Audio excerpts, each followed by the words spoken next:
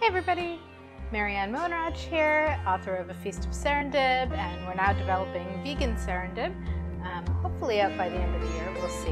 Uh, and today we're going to do a very quick, simple eggplant salad.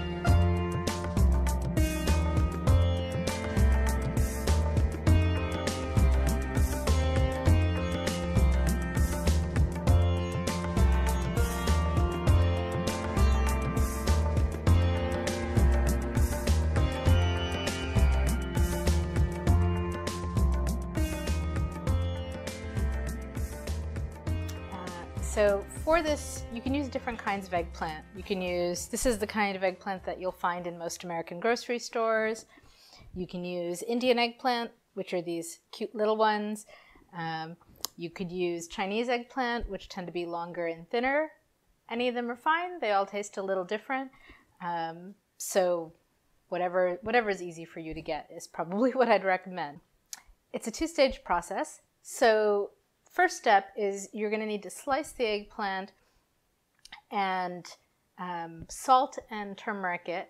Um, and what that's going to do is one, it's going to season it, uh, which you know you could do right before cooking. But instead, we're going to spread it out on paper towels and leave it for an hour. And what will happen is water will come out of the eggplant and rise to the surface. You can blot that off and then when you fry it, it's going to be a lot crispier. So that'll be delicious. Uh, there's uh, sort of, I think right now, a little bit of contention about whether it also draws out some bitterness. So you'll often see that in eggplant recipes that you salt it to remove the bitter water. And I think I actually said that in Feast of Serendib. But um, recently I've been reading things that indicate that that that modern American eggplant, at any rate, is not actually bitter anymore. It's been sort of bred, so it doesn't have that much of that flavor. Um, but you may have access to heirloom eggplant, which is still bitter. So either way, uh, it's going to, it's worth doing this step so that it fries better. Okay, so we've done it in advance. So behind me, what you're seeing is eggplant that has been spread out, that uh, has been sliced, put in a bowl.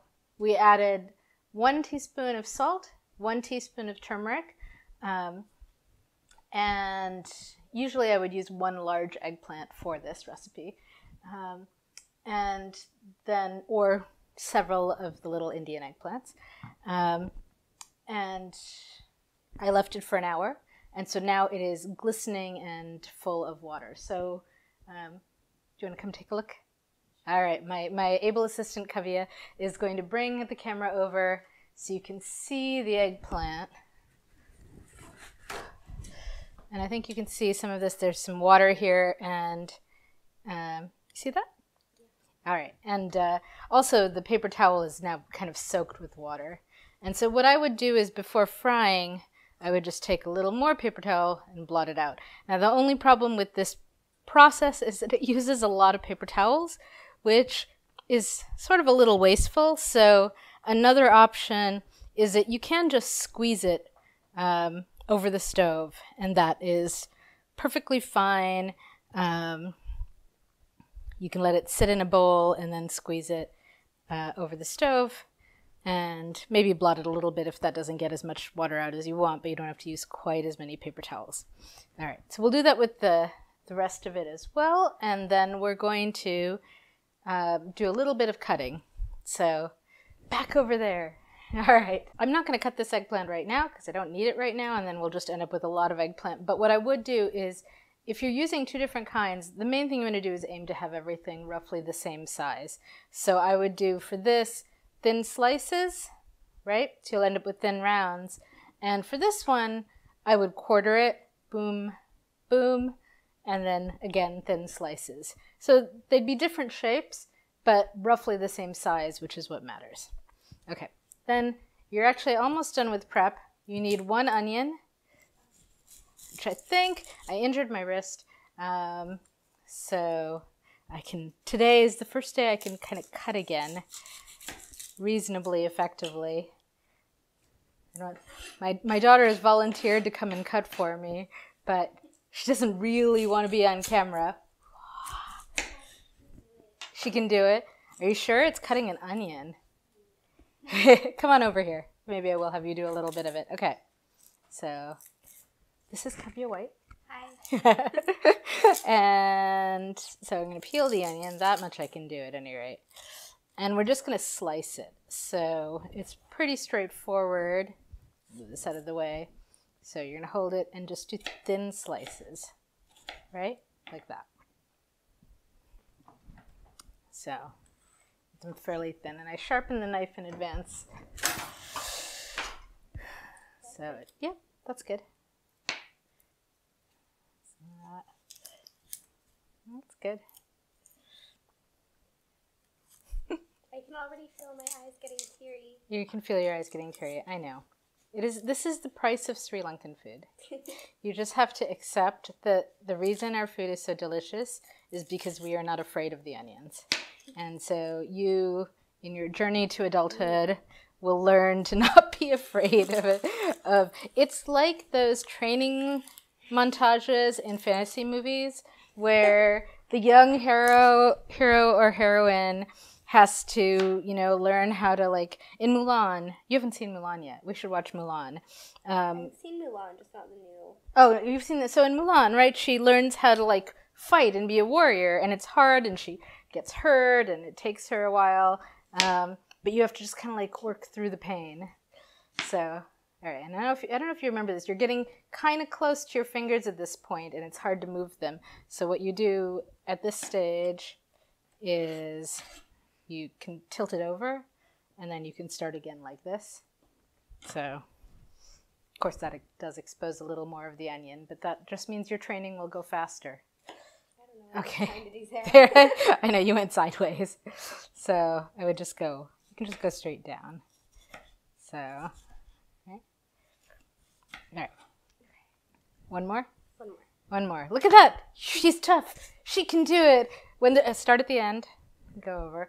Uh, when don't don't go at an angle. Just go straight down. Yeah. Um, when the revolution comes, she'll be ready. So the onion revolution.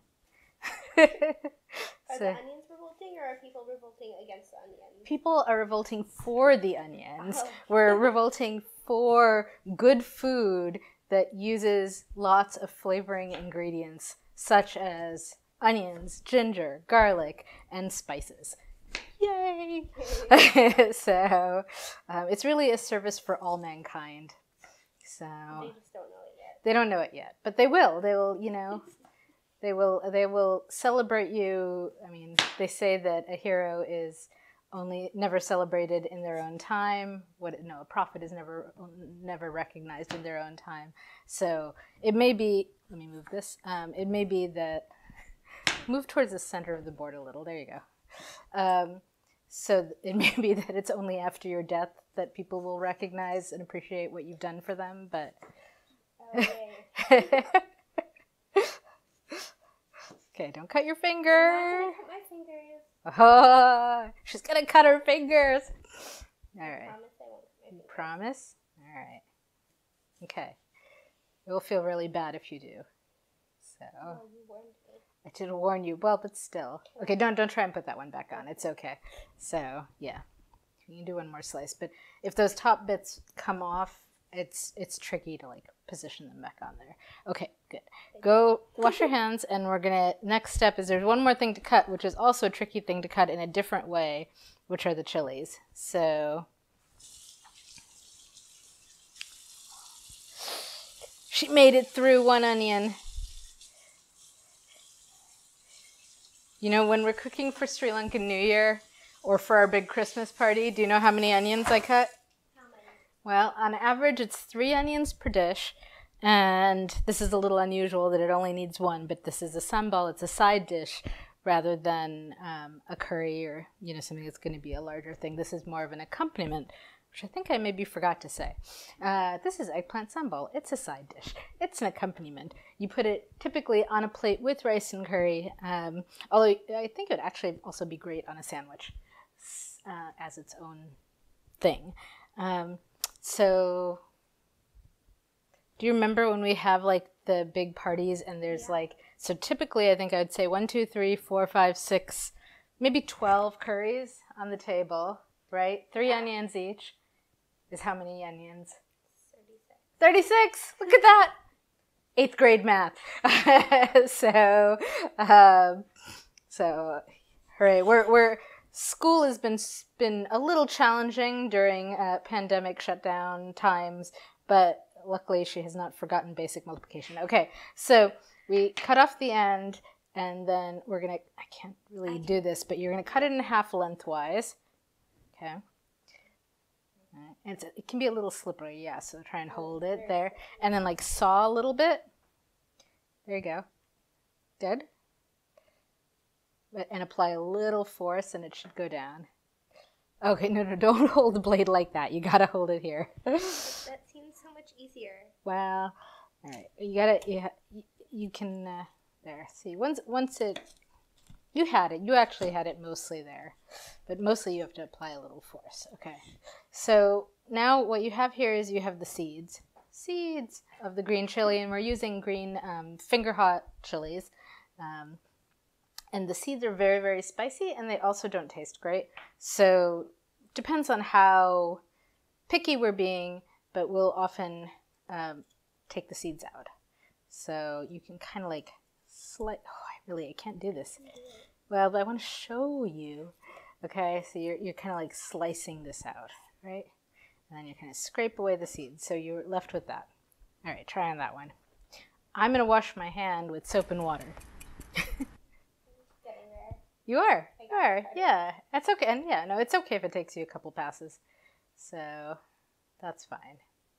You can also just skip this step entirely and just accept a little more heat and a little, you know, a slight bitter taste from the seeds. All right. Good. All right. So in theory, we're going to do this two more times. Do you think you can manage it two more times? Yeah, the other ones smaller. Okay. So I think I can do it. All right.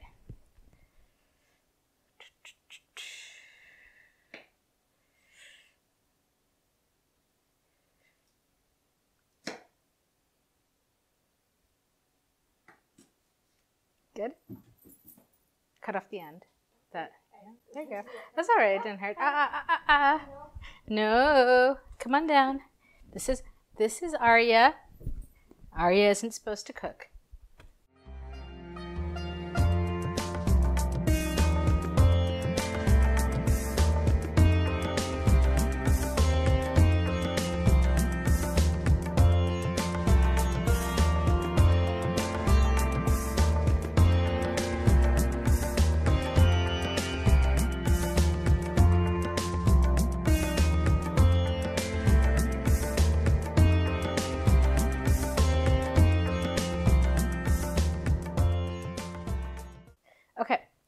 So now you've got a whole bunch of stuff mixed together.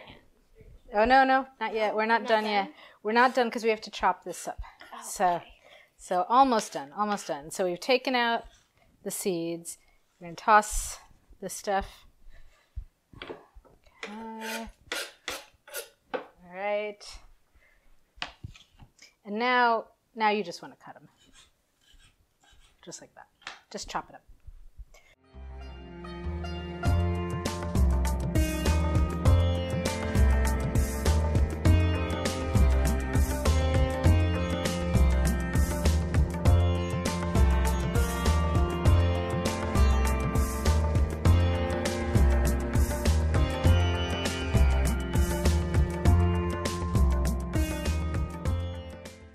And they're supposed to be somewhat finely. You you kind of want to aim for somewhat finely chopped. So if there's, she's not going to go through, and uh, you're you're learning that Kavya has a little bit of a perfectionist streak, and which is a great thing in the kitchen. So, um, and luckily we can speed this up if we need to.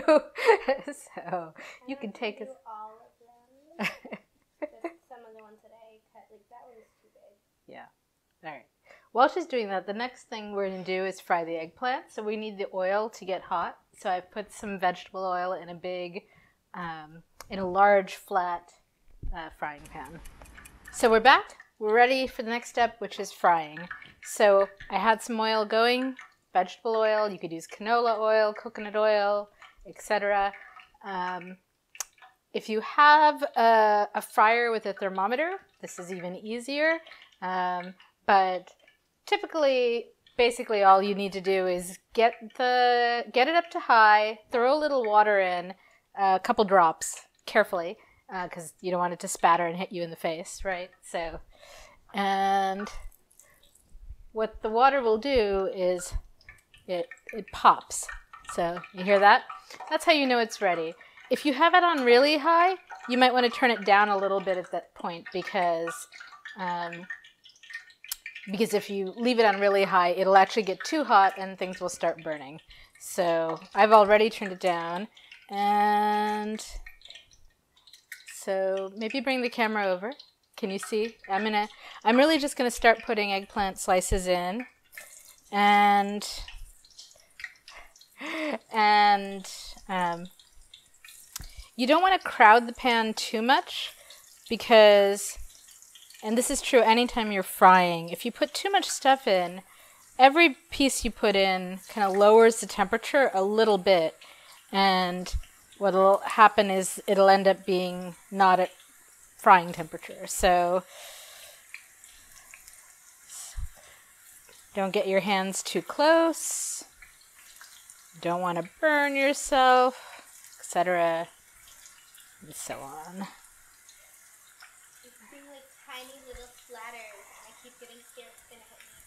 Yeah, but you know they're they're very light little pieces, so Okay, so I would say that's that's getting reasonably full. Now, ideally, you have something like this, which is called a spider.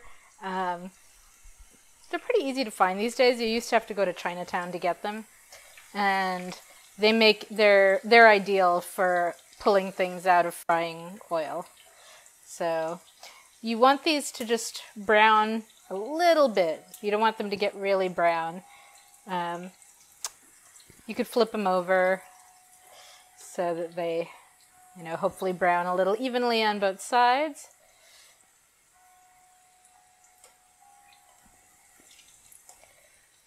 Okay. And then start pulling them out. I would shake it a little, get some of the excess oil out, put them on some paper towels. Here you really do need some paper towels uh, to sop up the extra oil. And, and then we're just going to keep doing that until they're all fried. So.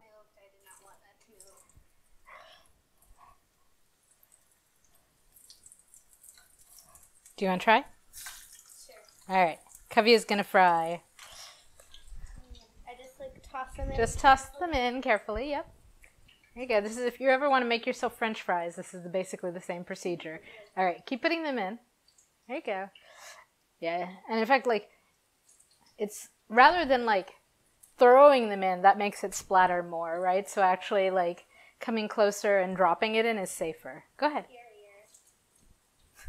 But you'll see it doesn't splash up as much.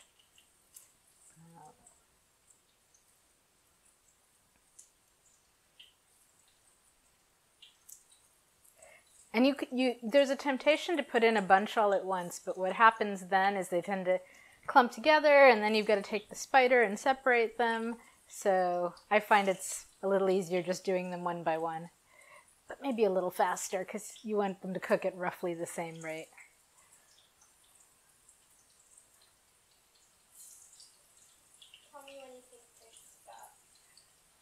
Mm, there's still a fair bit of open space. Four or five more?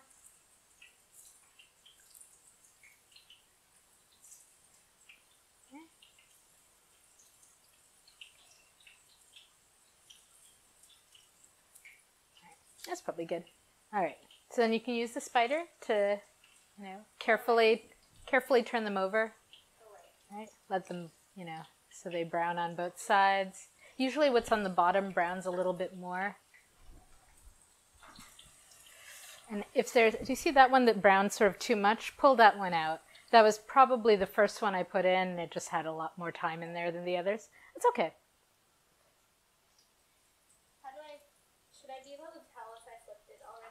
Yeah. I sort of keep rough track as I go, but. got moved around That's okay. All right, and then I would I'd say they're getting pretty they're pretty much there. So go ahead and start taking them out. So scoop a bunch up. Shake, dry, uh, yeah, like shake off some oil and then put it down. Yep.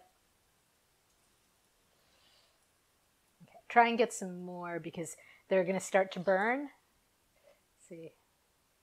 All right. You should be able to get quite a few at once. Yeah. this spider is also a little more bowl shaped. We have another one that's flatter that's a little easier to use for this frying pan, I think. All right. You want to do more or do you want me to do it?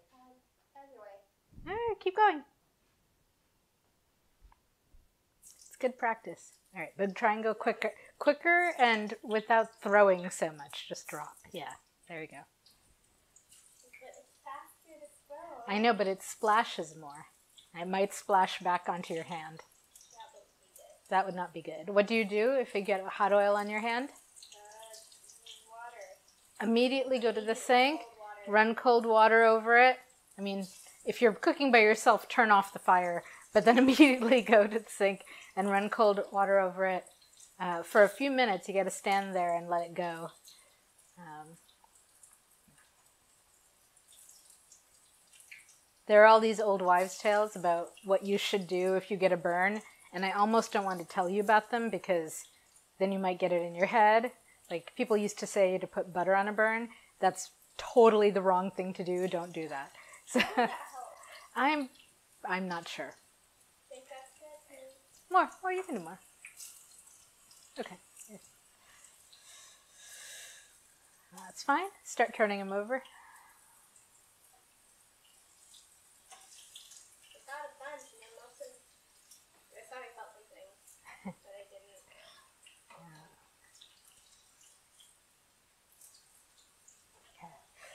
They're browning quite a bit, so.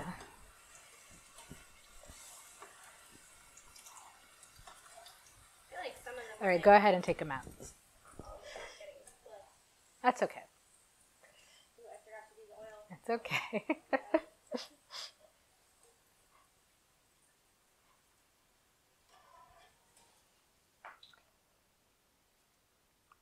Try and put them on the part of the paper towel that doesn't have anything on yet. Otherwise, what's happening is it's dripping oil down onto the vegetables that are already there. Does that make sense? Yeah. All right, you want to do more? All right. All right, keep going.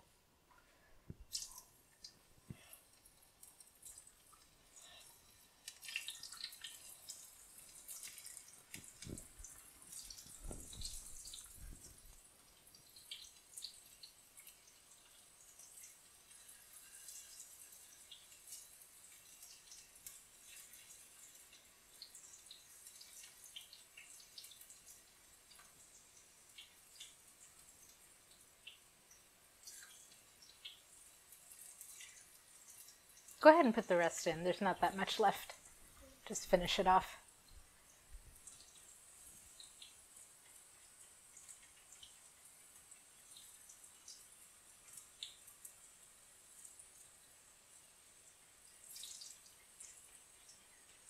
Good.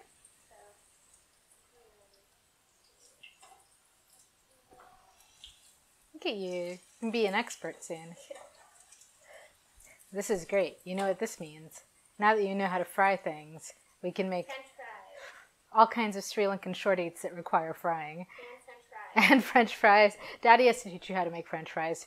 He makes very nice steak frites. Well.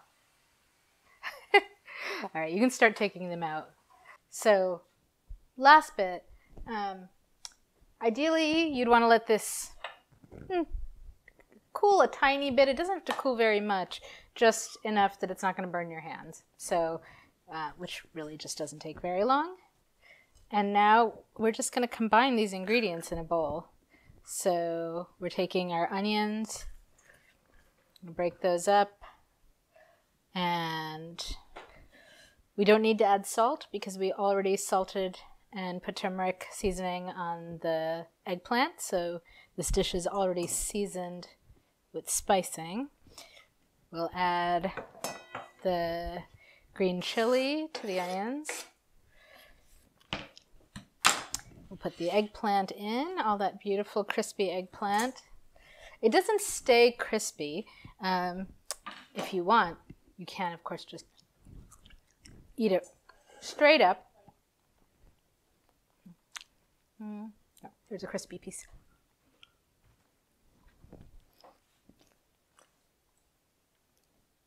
Good, right? It's like a potato chip, but it's a vegetable. It's better for you. Yeah, it's kind of like a potato chip, also kind of like French fries. Mm-hmm. Because it's you know parts of it are softer, parts of it are crispier, right? So, yes, it's if you can if you get to like this kind of thing, it is way better for you than potato chips. All right, and I'm squeezing in some lime. I think that there's an amount in my cookbook, but honestly, it's sort of to taste and kind of depending on how much lime I have around. Um, and then it's easiest to do this with your clean hand. Is you're really just kind of mixing it together. And that's it. There isn't really anything more to this. If you want, you can add a little bit of coconut milk. Sometimes I add a quarter cup of coconut milk, which kind of binds it all together um, nicely, but it's also just great like this. Um, so there we go. Eggplant sambol, a lovely thing to put on a rice and curry plate or make into a sandwich all on its own. Any questions? Mm-hmm. Yay! All right. Thanks, everybody.